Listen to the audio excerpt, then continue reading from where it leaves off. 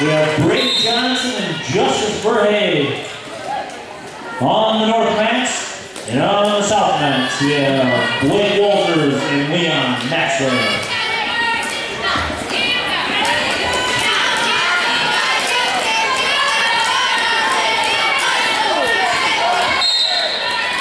We'd like to thank our Sergeant of Security here today, Mr. Scott Hausman, policing the hallways. Did a great job,